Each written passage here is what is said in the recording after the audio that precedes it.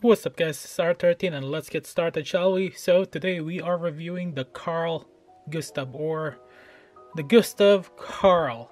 Uh, this unit, uh, as I mentioned during my unboxing, uh, was released uh, early 2019 and with a price tag of around 2200 yen and remember price varies depending on location. This unit um, actually took me a good 2 hours and 40 minutes building this unit here and um, I did actually notice multiple things, uh, multiple issues. Uh, but before going with those issues, let's talk about the overall design of this unit here. So uh, as you guys can see, this unit here is actually quite thick, lots of armor in the history line. Um, this has actually got more uh, improved performance than the Jagan and uh, this was actually built alongside the Jesta in a different type of factory in the storyline.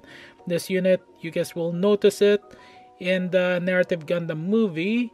Uh, my suggestion is if you haven't watched it yet, eh, depending on your country, um, go ahead and watch it. Currently here in North America, specifically Canada, there is no movie screening of the NT Gundam sadly. But um, the Gundam Info specifically Bandai, actually released the first 21 minutes of the series, and this unit made an appearance. Now, this one here is actually the Unicorn um, Gundam version, and there are other variants out there. And I get the feeling that um, those other variants will probably be a P Bandai. I hate to say it. There, I said it. Okay, so um, one of the few things that I actually do like about this unit is the lack of stickers. I haven't used the stickers yet, but so lack. There's not a whole lot, as you guys can see there. I haven't even used it yet. Overall, the Italian design is actually quite nice. Now, um, there's gonna be some panel lining, and there will definitely be some seam line removals and nub removal. My advice is, is actually be extra careful because of the nubs so many thick knobs. And I'm actually gonna show you guys here right away. Okay the first part here is the leg area. Okay gonna give more light here. Hopefully it doesn't hit my camera. Okay you guys can see the nubs there. Yeah more nubs in the forearm here. Oops. Okay nubs in the shoulder. And um, it's actually tell you the truth it's actually not in well hidden places. And um, there's certain areas that are hidden enough but there's just areas that are actually quite annoying. And uh, yeah for a 2019 kit uh, this actually the the Gustav Karl is actually haven for nubs and uh, as for the seam lines there's not a whole lot. And uh, let's see here if I can actually find more nubs here. Yeah actually you guys can actually notice it right away in specific areas. So definitely this unit actually requires some uh, extra care and uh, good detailing and sanding. There you have it now um, the other issues that actually this unit have is um, certain parts can easily be taken apart. That was easy actually. I just pulled that off easily. It's not even uh, stiff. And um, okay this is supposed to lock. I actually changed it earlier. This one here shouldn't have any issue. Yep it's solid. Now the other weakness this unit have is the waist area. There you go. This one here is actually not a ball joint as you guys can see there but the other part here is actually a ball joint underneath here. Right now it's actually quite hard. I was having issues earlier but uh, looks like I managed to fix it. But uh, it's easily you can easily remove it. So extra care. Now certain pieces like uh, this piece here falls off easily. And um, the leg area here it's actually a ball joint inside. And uh, there's some it's actually not that stiff. And I'll actually show it to you guys here. As you guys can see that's a polycap there. And uh, some stiffening is required. But uh, this is lock. Okay so you do have certain um, stiffness issue there. And um, well on the plus side this is actually this looks like actually got some uh, really good articulation as well which I'm actually gonna show you guys after I put this back together again. Okay for the articulation piece we'll start from top to bottom here. And um, the head actually gets a good uh, 360 degree here so you guys can see. And um, the backpack here you actually got that uh, piece there. But you can actually replace that piece with um, a different uh, part here to extend it as you guys can see in the picture. And then um, for the backpack here the thrusters doesn't actually move.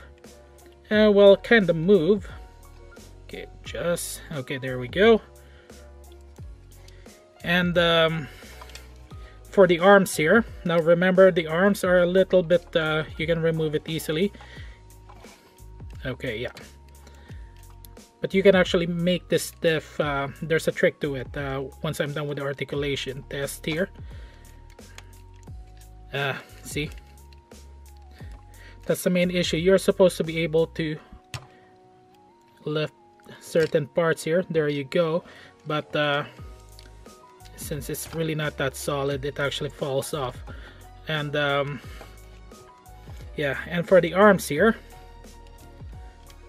it's actually double jointed which is actually quite nice. Okay. And then for the waist and torso connector good mobility there as you guys can see. But remember this is another weakness yeah there you go okay now that we got that out of the way yeah as you guys can see Mm, I really just don't like that. I'll fix that later. But let's continue on with the articulation test here. For the back skirt, it actually moves. Which is actually quite nice. So there you go. See that piece there? And some details inside. Okay. And it actually gets secure as well. Now for the side skirt here, this is where um, the beam saver is located. You can remove it easily and you can put it back. And uh, let's just put this unit back together. There we go. And uh, sadly it doesn't move side to side but up and down. Now for the front skirt some uh, good articulation there okay. Now for the leg and um, waist connector. There's a slot there for the action base. Very basic. Even this one here fits perfectly no issues. And the ball joints is there so it can't actually well it can do a split since it's actually it's a different design frame there as you guys have already seen. Okay and um, for the legs here specifically. That's how far it can go. And for uh, the feet that's uh, the articulation there. And certain pieces actually kind of fell off. And the thrusters actually.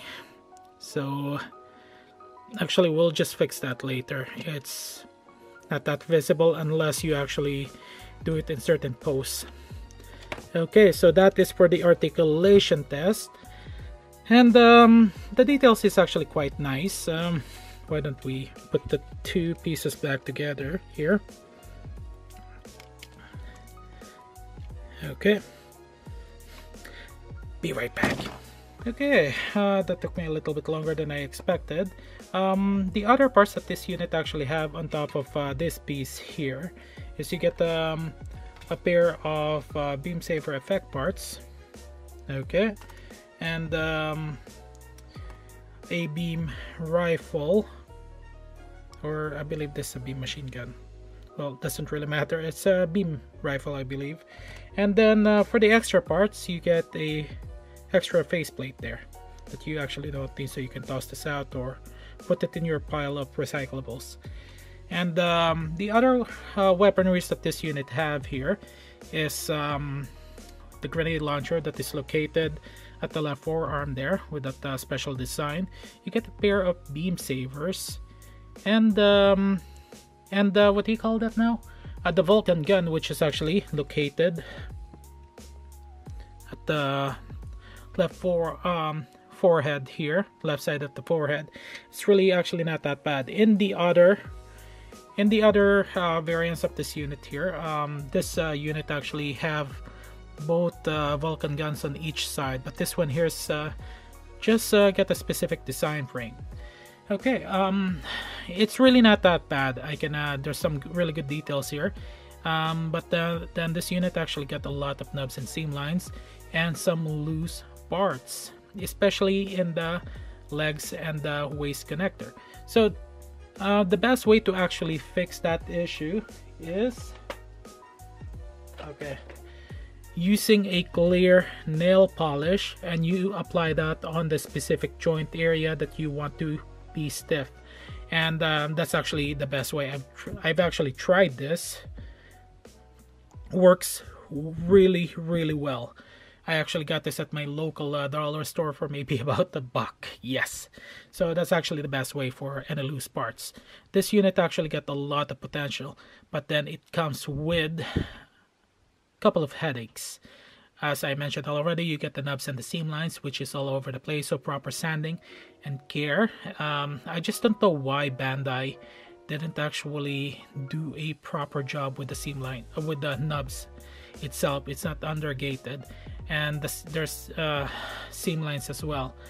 Uh, it's a little bit frustrating uh, in my for me because uh, I got this uh, as a, after like before making this video literal literal on the same day I actually got I am the guy that um, actually got uh, Gustav Karl in my area the very first guy it's really nice um, but like I said there is potential for this unit. I can actually advise this as well because of the design frame. Now there's one thing for me that I actually personally do not like that I'm actually planning on on uh, removing and that is the fin. This is a an RGM line. So I'm removing the fin there um, because if there's uh, no ice I just find it odd. But overall I do like this kit.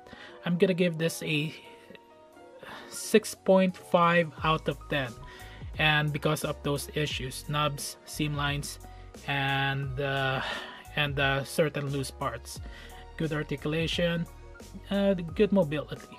Okay um that's all the time that i got guys. Thank you guys for watching this video. Don't forget to click that like button uh, subscribe button if you enjoy it. If you don't like it uh, please leave it in the comment section what you do not like um, in this video in general. But um, yeah I can actually advise this to intermediate uh, builders. For 2019 kit hmm, yeah. Okay that's all the time that I got guys. Thank you guys for watching. This is R13 have a good day good night afternoon wherever you are. And remember have fun relax and enjoy. That is Gunpla. I'll see you guys in the next vid